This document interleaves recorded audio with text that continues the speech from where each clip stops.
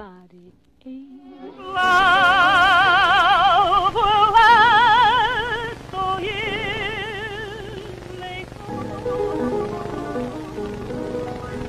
Hey friend, welcome to my channel Karine Alourde where we deep dive and break down the most iconic stars in history. If you're not yet subscribed, please be sure to do so and turn your notifications on so you never miss an upload.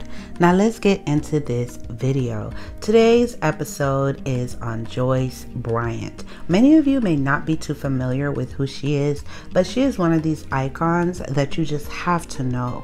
You have to know who she is. She was an American singer, dancer, and civil rights activist. She rose to prominence in the late 1940s and early 1950s. She was known as the Bronze Blonde Bombshell, the Black Marilyn, the Belter, and the voice you'll always remember for her iconic silver hair and figure hugging mermaid dresses, which helped establish her as an early African American sex symbol. But she did come with a lot of controversy, which we are going to discuss.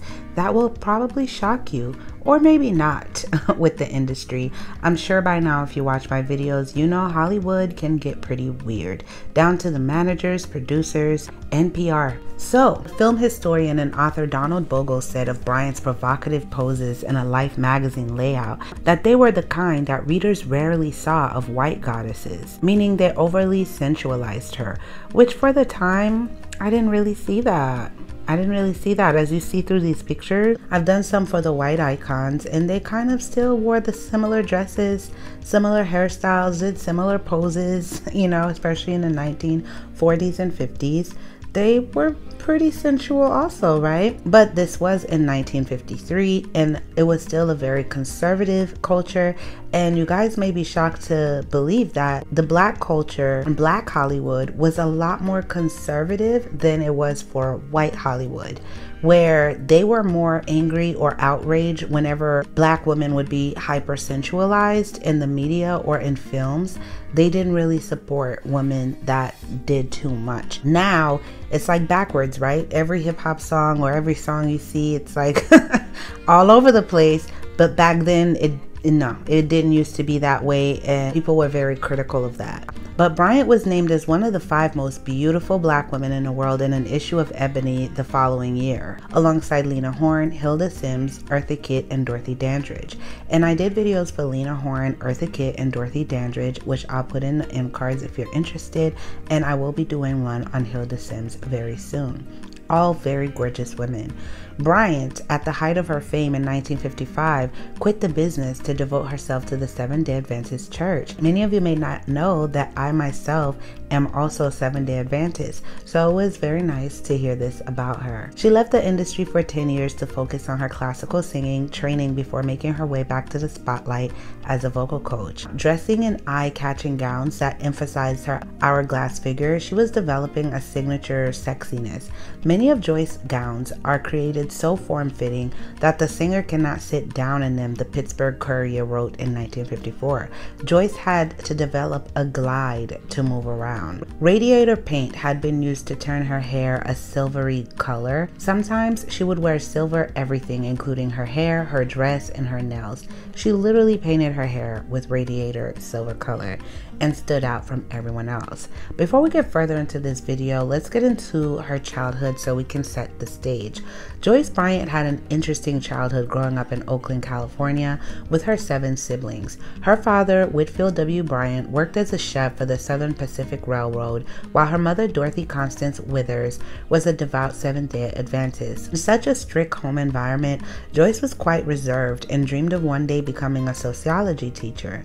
At just 14 years old, Joyce impulsively eloped, but the marriage didn't last long and ended that very same evening.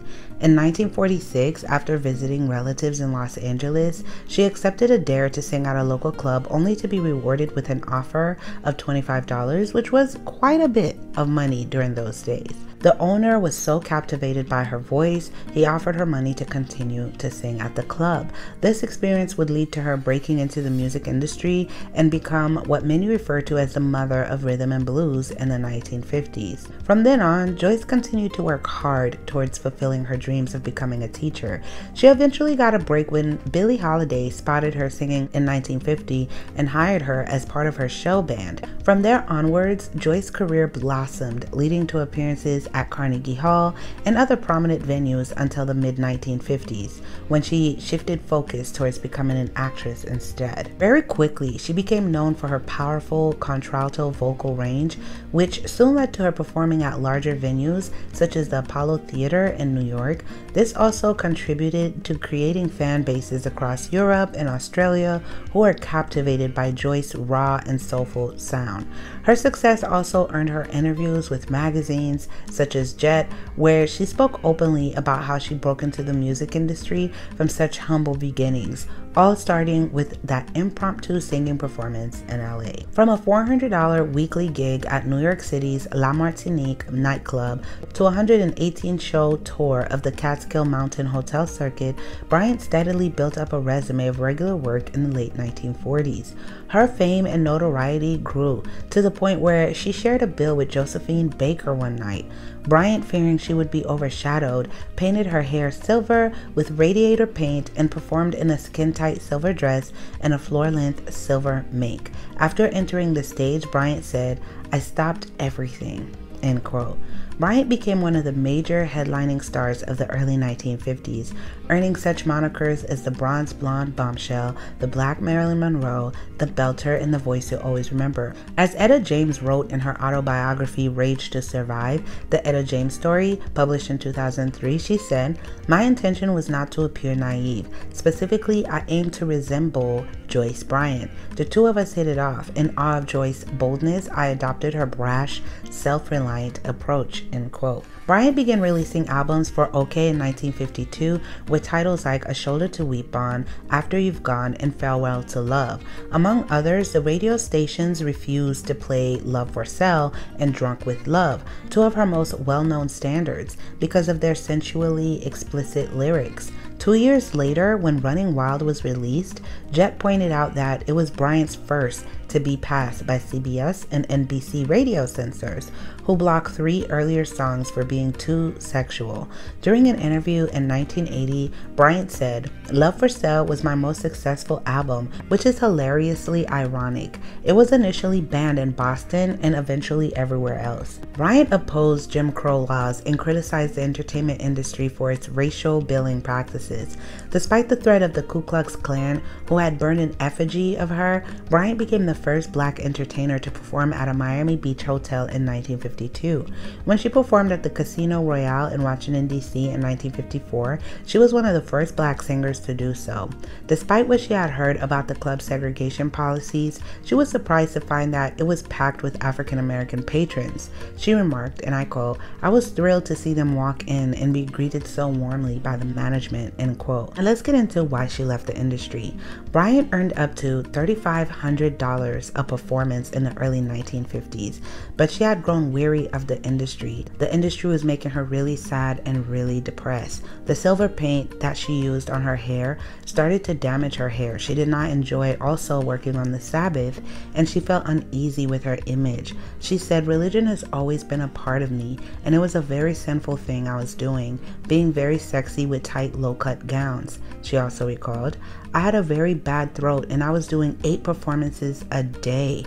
A doctor was brought in to help and he said, I can spray your throat with Coke and that will fix the problem, but you'll become addicted. Then I overheard my manager say, I don't care what you do, just make that B word sing.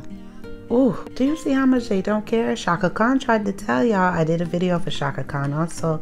Check it out. And she continued saying, I said to myself, if a human being can be exploited this way, she said, if somebody who is supposed to be guiding your career can be so selfish and greedy, even willing to risk you becoming hooked on narcotics for the sake of the almighty dollar, then I'd better get out, end quote.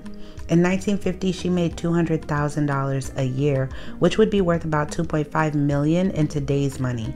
Bryant was always on the move, so she would change from her formal attire to more casual fare like a sweater and pants, and from her high heels fit for a queen to more practical loafers. Her fatigue was obvious, and her self trained voice was cracking under the pressure.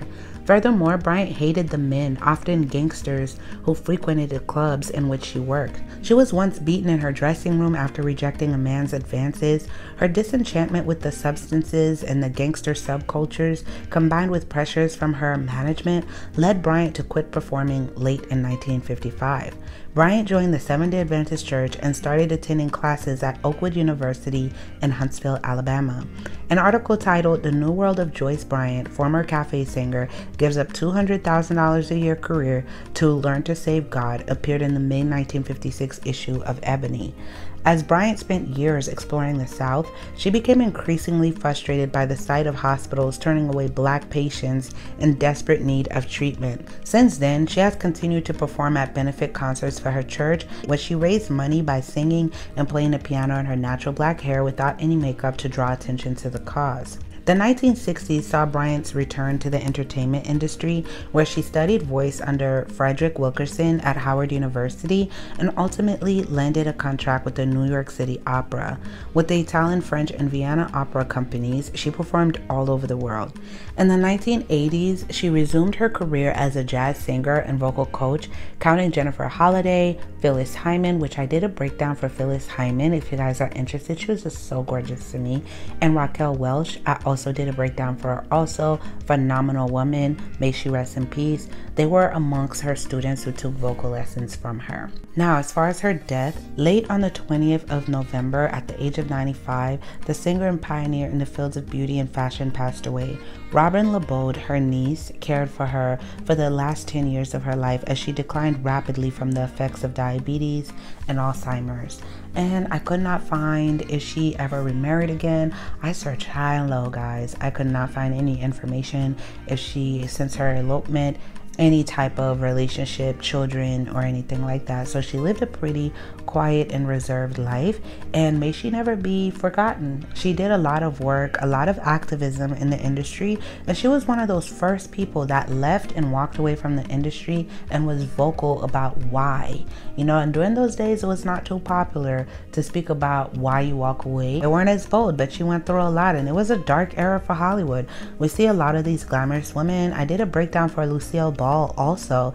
And Lucille Ball from I Love Lucy used to be surrounded by these gangsters too, to the point where she was dating one and they all was in these nightclubs that they would perform at and stuff. So it was that kind of life for these women and they would come and look prim and proper and very sophisticated and elegant but this is what they were dealing with. And sometimes it would get very risky and very dangerous.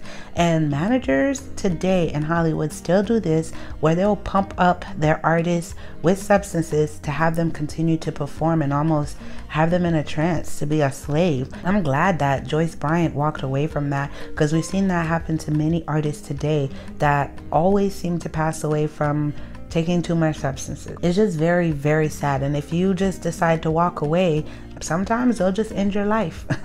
like Michael Jackson allegedly said they did, they would do to him, right? I always applaud any woman who walks away and was able to maintain their lives and was ma- able to maintain a happy ending. If you like the music you're listening to, the link is in the description. I love you guys so much. Thank you for tuning in. Until next time.